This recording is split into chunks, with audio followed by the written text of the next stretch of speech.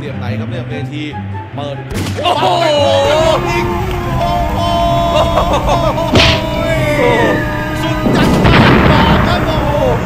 เน้นเน้นบรรจงเลยครับถ้าเข้าปิดเกมได้เปิดแล้วจะเรียบร้อยเลยครับลูไม่ทันขาดคำครับโอ้โหกระโดดฟาดเข้าไปเลยครับแฮตทิกสิครับมาที่จินดาครับภายใต้การควบคุมสุดเช้าเปิดโอ้สวัสดีลูกโยโหยังสวยครับ